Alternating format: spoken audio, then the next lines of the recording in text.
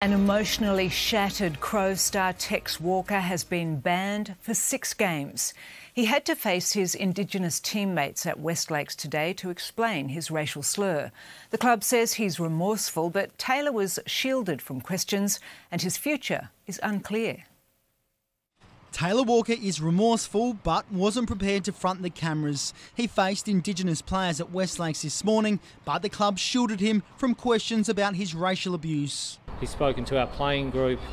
He's he's an emotional wreck at the moment, and but it's not just about him. There's a number of people that have been affected here. Adelaide reneged on an agreement to release even a video statement recorded before training. Players silent too. No comment, sorry. Rory, are you upset at Even for those who might have wanted. Sorry, boys, I can't. I can't comment on it. Sorry, I can't. I'd like I would.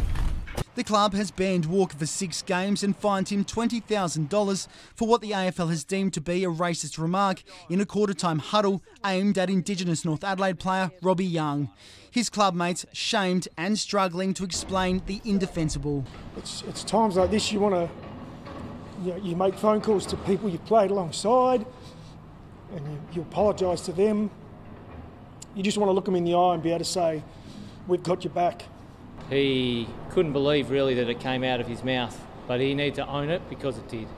He's apologetic and he's just genuinely embarrassed. North Adelaide says it was unacceptable and is supporting the wronged young, but Indigenous players are fed up. Education is the key, but but we are getting sick of it. It isn't it isn't acceptable. The mood at West Lakes wretched ahead of the Crows' first home showdown in years. Racism is something that we, no one stands for and no one should stand for. Taylor Walker has been given time away from the club. The forward is contracted next season, and the Crows say they want him back. However, they refuse to speculate about his playing future.